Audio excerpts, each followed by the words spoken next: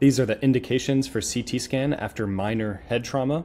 You want to do a CT scan in high risk patients, regardless of the head trauma. So, patients that are aged 65 or older, patients with coagulopathy, things that make them bleed, patients that are drunk or uh, some other intoxication, patients with high risk injury mechanisms, such as being struck by a vehicle, being ejected from a vehicle, or falling from a high height.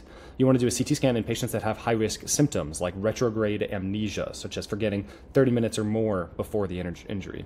You want to do a CT scan if patients are vomiting at least twice, if they have seizures, and if they have severe headaches.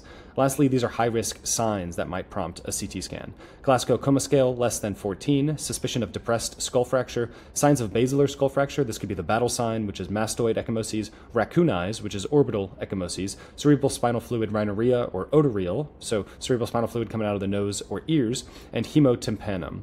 If they have altered mental status or loss of consciousness or neurologic deficits, you also want to do a CT scan.